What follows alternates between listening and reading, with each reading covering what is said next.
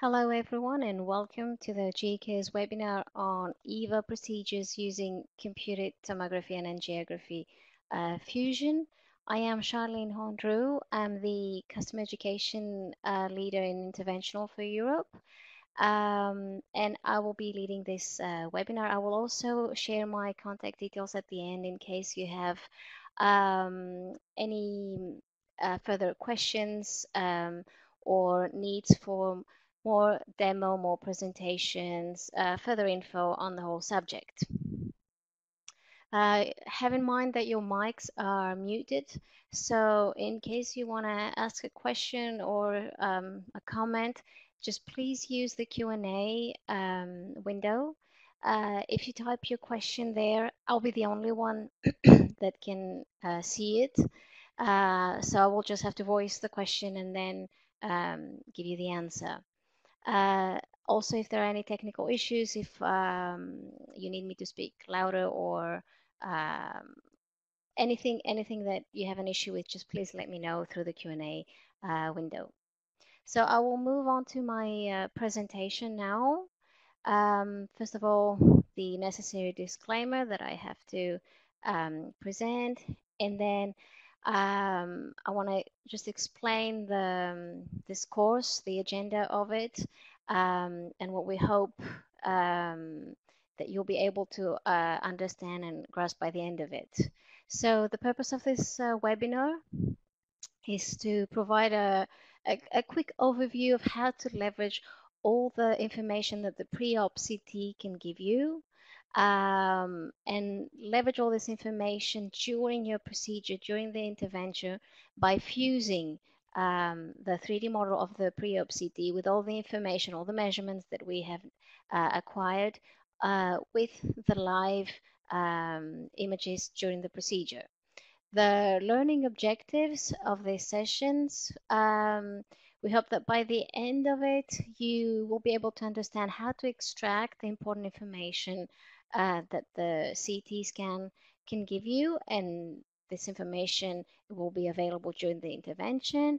Um, we want you to understand what the clinical benefits of fusing the two modalities are because aside from the fact that yes, the results are beautiful, uh, the images are impressive, we want you to understand that there's an actual clinical benefit that is really important behind it and that's why uh, you would want to use it. Um, and then the third point, we would like you to be able to understand how to fuse the, the two modalities, the pre-op CT and the um, X-ray image that is the live image during the procedure. Um, very quickly, uh, I will explain what EVAR Assist 2 is. So it's the set of tools that GE is providing um, to help you from beginning to the end of uh, your procedure, whether you have a simple EVAR or fenestrated EVAR. Um, you have the first um, set of uh, tools that will help you during the planning phase. So you have an interface with all the tools easily accessible uh, for how to do all the measurements that are needed, how to um, to analyze your model and get all the information that is needed. Then you have the second phase and the tools provided for it uh, for the guidance uh, phase. During the procedure, you have your 3D model that has been exported onto your live screen, uh, merged with it, and uh, being used as a guidance uh, in order to, to do your procedure. And then the third phase is the assessment uh, phase, and we're mainly talking about the uh, cone beam CT that is uh, performed at the end of the procedure, where you can actually see how your stent has been deployed, whether you need to do any further intervention.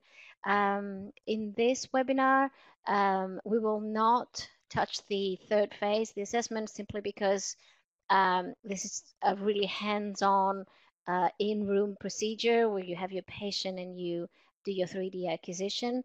So for this webinar, we'll just talk about the planning, um, the planning phase, and then the guidance phase uh, during the procedure. So what are the clinical benefits of EVAR Assist 2? As I said, that's the most important point of this uh, webinar. As I explained, once you have your 3D model prepped uh, from the pre-op CT, um, you will have to do a registration um, between this model and the live image, the, the patient that is on the table. And after that, once the registration is done, then you basically can be guided from this 3 model. So the 3D model will be perfectly registered to your patient. So when you move your C-arm or when you move your table, the, the, the 3D model will uh, follow. I have here a small um, video that I can share with you just so that you get an idea of uh, what it looks like. If you are watching this on a phone, you might have to just tap on the little window that uh, pops up shouldn't be the case for a computer. Um, so you can see here we have the 3D model of an aorta. Uh, we have in the background the uh, the patient, the live image, all the tools you can see there that have already been inserted. And by moving the table, the whole anatomy moves. Um, so what does that mean? Uh, the fact that the, the model is registered? Well, it means that it's from now on it's your guidance. Um, for most of the times you can be um, assisted by the model in order to know where to uh, move your catheter um, where your um, where your vessels are uh, where the openings of the stents are uh, meaning that you have to do less and less x-rays and uh, less contrast, uh, contrast injected so the, the contrast will be injected uh, in some cases where it's actually needed, but most of the times uh, you'll be able to just use the 3D model and be based on that um, in order to guide yourself in the during the procedure. Uh, another clinical benefit that this uh, tool can give you is a digital zoom. So the digital zoom is a very important feature. Um, it's a zoom to a percentage, uh, to a huge percentage. You can zoom as much as you want during the procedure in order to get as much detail as you want. But it is not an optical zoom that increases the dose. So you can um, zoom without any fear as much as you want throughout the procedure. Um, it will not increase um, the dose. Here again, I can show you a little a video of what it looks like. So I have my 3D model uh, of the aorta, the outline of it. You have the background, live image, and then I am zooming and I can zoom as much as I want. Um, you can see here a lot of detail and this result is without having any uh, effect on the on the dose. So in the end, what we want you to um, take away from that is that um, by using by using the tools of EVAR Assist 2, uh, you are helping your team uh, towards a radiation and contrast reduction. Uh, so we also have a study that was done across several um, sites in different countries like Japan, US, UK, uh, France, where the the teams uh, that were performing uh, EVAR procedures um, using the Discovery um, the Discovery Hybrid OR uh, from GE and the EVAR Assist tools, and of course applying all the best practice uh, techniques for uh, minimization of those um, were able to decrease the dose, the median DAP of the procedure by 12 times. So this is a study that shows that uh, this is not just for very experienced operators or experienced teams uh, across countries and across teams. This is something that can be done by following uh, some simple guidelines and by using the right tools um, and leveraging uh, these tools. So um, if there aren't any uh, questions, um, about the webinar or about what has been said until now, I'll just move on to the demo. Um, I will demo the workflow of the planning of the CT as well as the mm, uh, the the merging of the of the 3D model onto the live images uh, and the phase of the procedure. Um, just have in mind that I am doing this on a demo machine, so it's not it's not exactly like your workstation in case you already have one. Uh, so you might see a couple of pop-ups or windows that look a little bit different. Just uh, ignore them. This is not what you will see in your interface. I will turn my camera off now so that we can just um, focus on the uh, on the demo.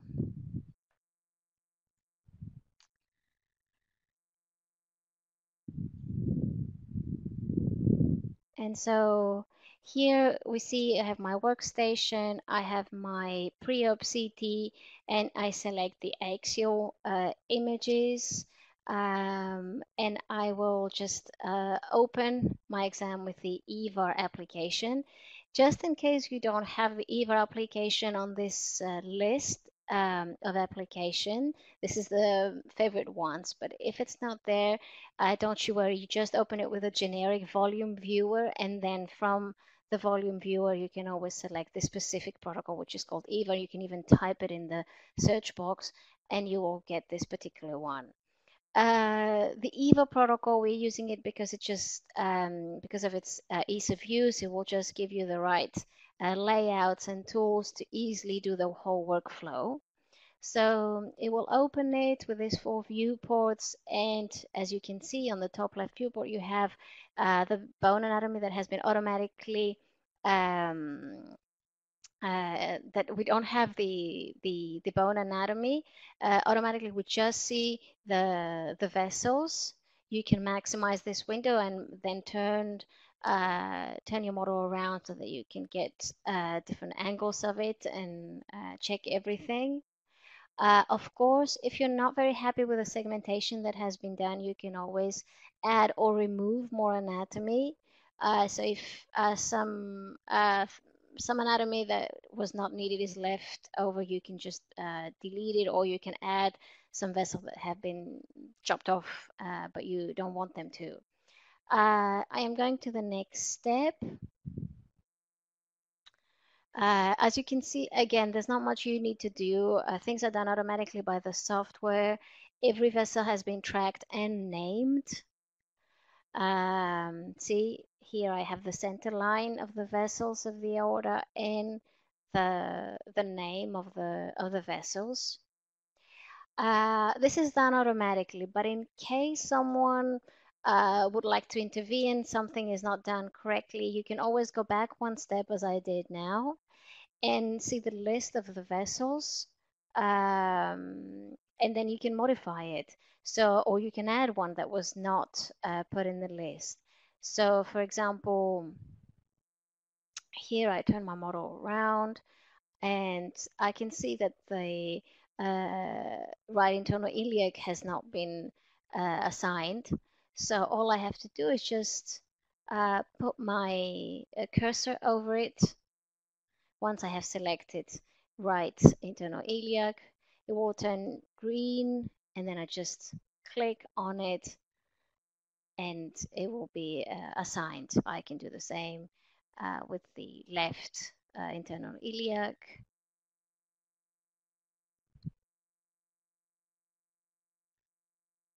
And then my tracking is complete. So I press on next and I will continue now. I go back to the window I had before. Um, I can always uh, modify the center line if I need to. So I'll have this curve views that you see at the bottom, um, which I can turn around and then check if my center line is actually in the center, properly positioned. Uh, if not, I can always uh, modify it. So by putting my cursor on it, you see this, um, the, the, the, part, the part of it uh, becomes blue and how, how big or small this part is can be controlled by this scroll bar that you see here and then you modify it by clicking uh, clicking on with the mouse. And if you are happy with the modification you, you have done, you accept and you uh, continue. So now um, I have this lumen view and these standard measurements that are uh, that you see on the right. So what happens is you have a, a schematic uh, of the aorta on the right, uh, and you have several points, which are the standard uh, measurement points, where you can see uh, little dots, and whichever one of these dots are clicked, uh, it means it expects you to give the measurement, uh, to give the, the equivalent point on the lumen view uh, on the left. So for example, I have the first point, which is a bit darker blue, as you can see in the, in the schematic, and it's the point under the lowest renal. So I have to go back on my lumen view and click uh, my mouse at the equivalent point uh, on this view. Then, for example, on the neck of the aneurysm, uh, and every time I click on it, you can see that the diameter of the equivalent, uh, the equivalent position is uh, written on the schematic.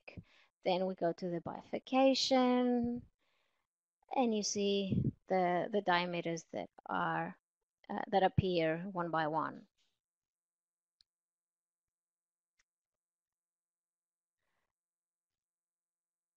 So of course you can go on the other side, but I'm not going to do that now just to be uh, quicker.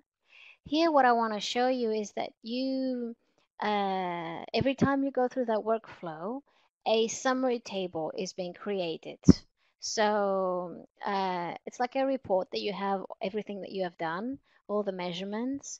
Um, how it works though, every standard measurement, like what you see here in this, in this uh, schematic diagram, um, is automatically uh, put in the summary table.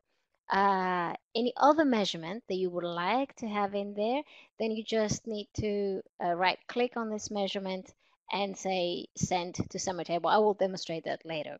So for example, right now, the only thing I've done is the standard measurement. So if I show you what it looks like, your summary table,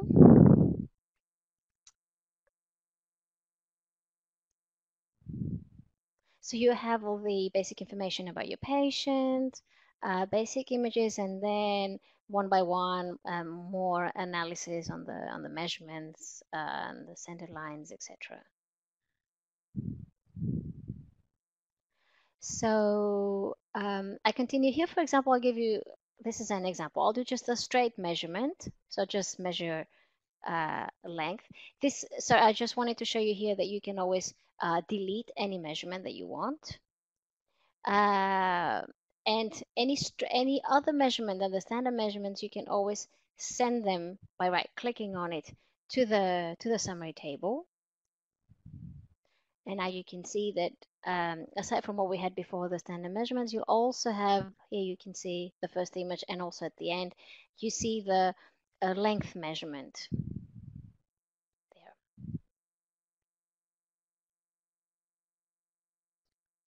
So it's up to you to include whatever you need in your uh, report. Uh, next, uh, this is an important step. Uh, this is the step where the uh, software puts automatically the contours of all the visceral arteries. Um, it is done automatically. You can always modify, so drag them if you think they're not uh, properly placed exactly at the root of the artery. so here I can drag them a little bit.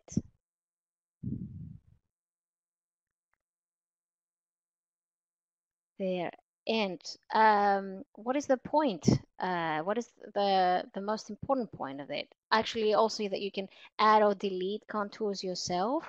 Um, but this is pretty rare from what I've seen um, with the users. Uh, it's pretty much always done automatically uh, by the software.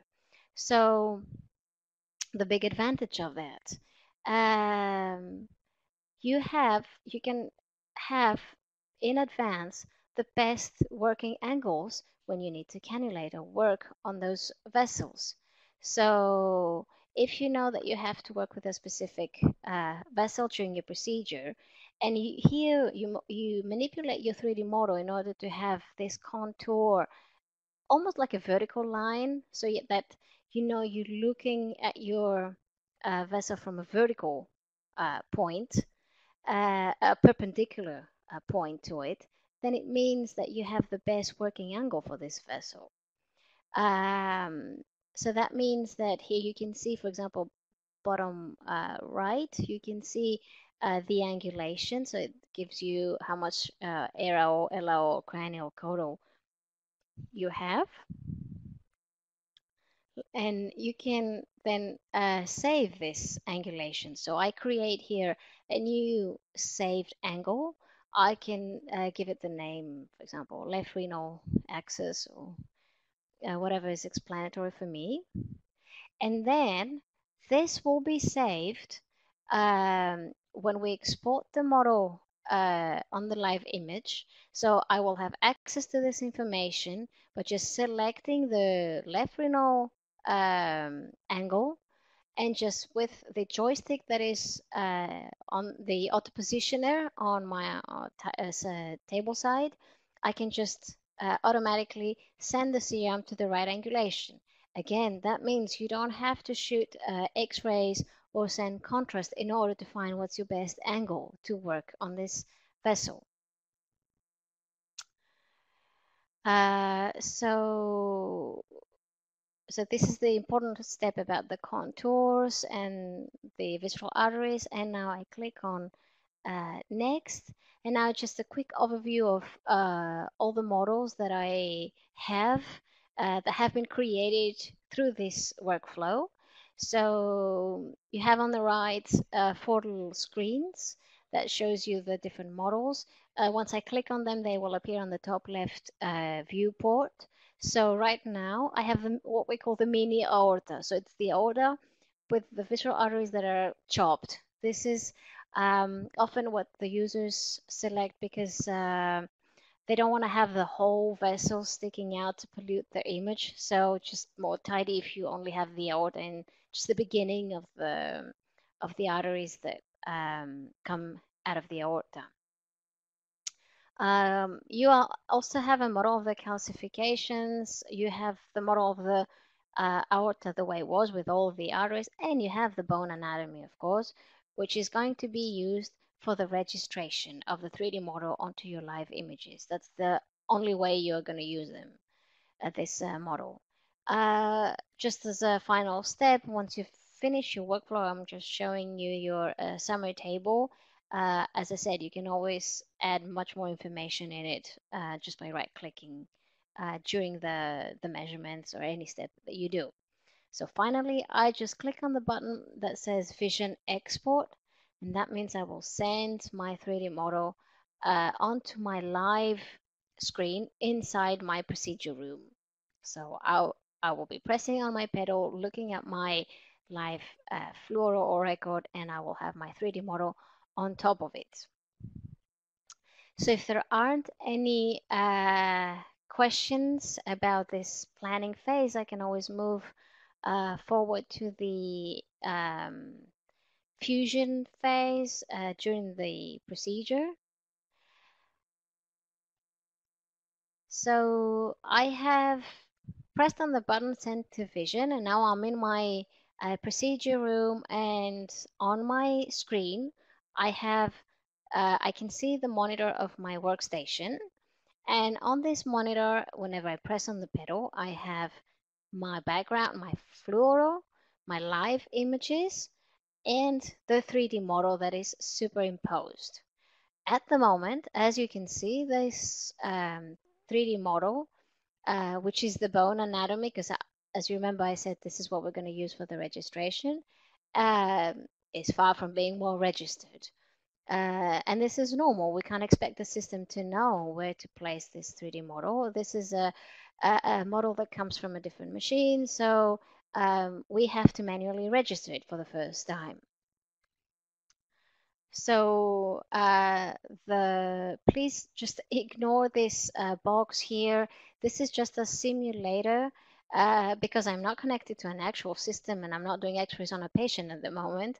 I have to have a simulator um, to simulate the uh, the runs, the, the, the fluoros and the records. Um, so you can see your 3D model here. We have the workflow that says start by view. It's the by view registration uh, that will always give you the information on what to do. So you click start by view. The system tells you just press on the pedal, do a short fluoro uh, first. So I'm just pressing on the pedal now. I'm doing a uh, fluoro and then it says uh, move to another angulation and then do another fluoro. So I do that. I'm now on a, a lateral view. I do another short fluoro and then I continue and then it gives me uh, my two um, my two images one next to the other. Um, the workflow that we recommend is to use AP as one uh, angulation for the fluoro and then the lateral 90 degrees for the second one. Um, usually this is the easiest workflow and gives uh, the best results in easier workflow for the registration. So now I have my two shots um, side by side and I can maximize each one of them and just then uh, do the registration manually. I can either use the buttons that you see here, the little arrows to translate and rotate my model or simply, which is what I prefer, by uh, control and left click of the mouse, I can translate my model and control and right click of the, of the mouse, I can rotate it. Uh, I do the same with the second uh, shot. Uh, so a bit of uh, translation, a bit of rotation, and I look at them again side by side in case I have to fine tune something, and then I validate if I'm happy with what I see. Uh, just to let you know that if any of those steps that we are doing now on the workstation, any physician can do on table side. So you have your touchscreen and every button is available there. So the registration can be done either by someone in the control room or by the physician uh, during the procedure. Uh, that depends on your uh, preferences. So you see the, the buttons here, translate, rotate, and uh, start by view. Um, so I continue here. Uh, as you can see, I will move on to a different model. Now the bone anatomy was just there for the registration. I will not need it from now on. So I just select a different subvolume, which is the aorta. I have several options again here of what I can see. Um, I have my full aorta, or I can go back to my mini aorta, which is a bit more tidy and um, the vessels are not bothering me. I can choose the rendering. Here you have the volume rendering uh, if you prefer. Um, and you can play with the opacity and you have to actually in aorta to, to be able to see your uh, devices. Um, but I will say that most of our customers prefer the outline. Uh, it's easier to see whatever is moving uh, inside the order. Again, I am showing you here that every button that I used about which volume to show, what uh, rendering mode to use, and how to play with the opacity, you have it on your touchscreen, uh, touchscreen at table side. So, um, so I have my model now and I'm uh, well into my uh, procedure. I have my planning lines here uh, that I can show or make them disappear. Same with the tracking lines, uh, same as the model. You can always make it disappear for any reason you don't want it at some point in your procedure. Um, you, um, you have, of course, the the possibility to uh, zoom here with the, the button that you see on the top. And then you can always roam, of course, and unzoom. Here are the same functions that you can find on your workstation, the zoom and roam, and uh, what to show and what to hide, like the planning lines, uh, center lines, etc. And so now I'm advancing uh, my uh, devices. I can show you now a few runs just to see what it looks like. And here is an important point because now uh, we're inserting a stiff delivery system. That means for sure you have um, affected the anatomy of the aorta. You have modified it, and you can see it actually in the image that um, the registration is not good at, at the moment. Uh, this is normal. We expect that to happen um, because the aorta doesn't look the way it looked at the beginning of the procedure. So what we do is a very short um, fluoro. Um, most customers do something like 15 cc's of half and half saline and contrast, for example.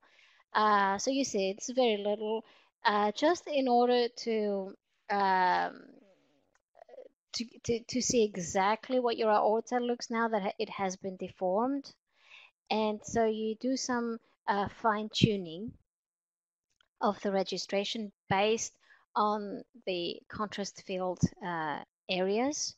So a bit of translation uh, and a bit of uh, rotation.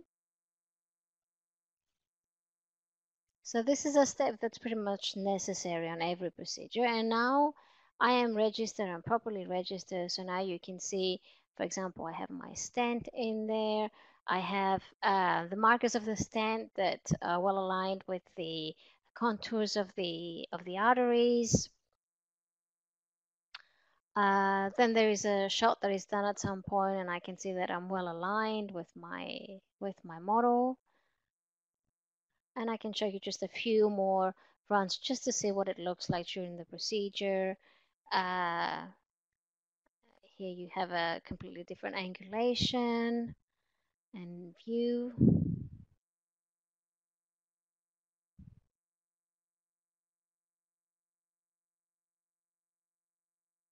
Again, here you can see your um, devices and catheters inside your vessels.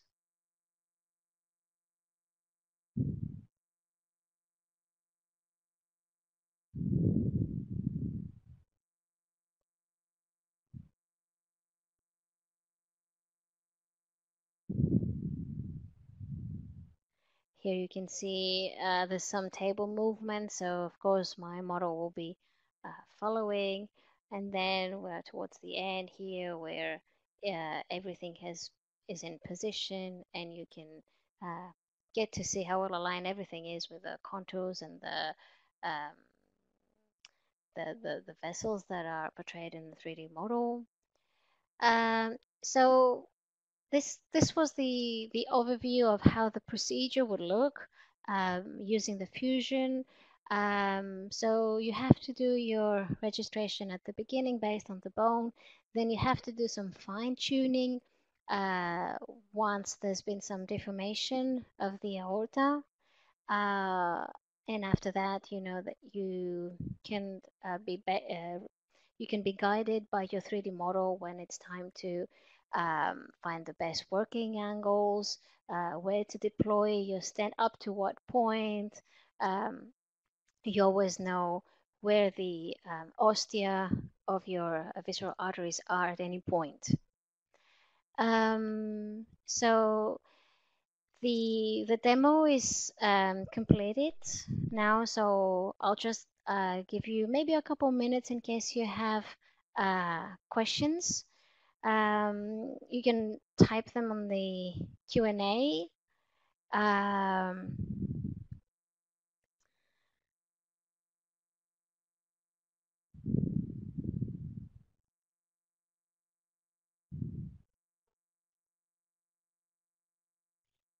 yes, um, about the the certificate, the attendance certificate.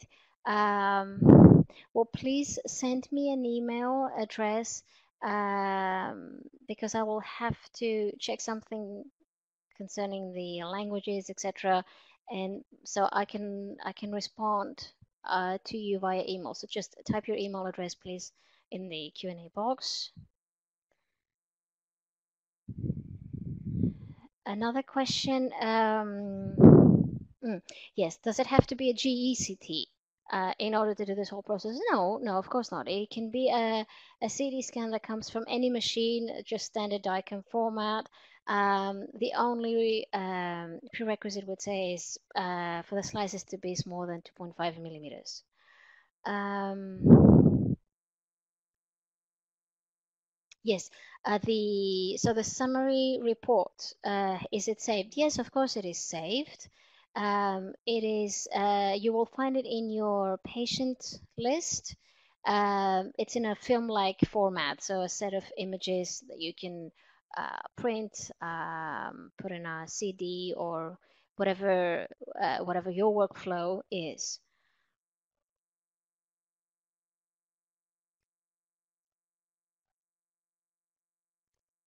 Uh, the Yes, so the uh, yes, I can confirm. Of course, the the digital zoom uh, is not only zooming the 3D model. Uh, of course, it is zooming the the real-time X-ray that is uh, in the background. Otherwise, there would be a, a misregistration. It would have a problem. No, it's it's a zoom uh, for both images.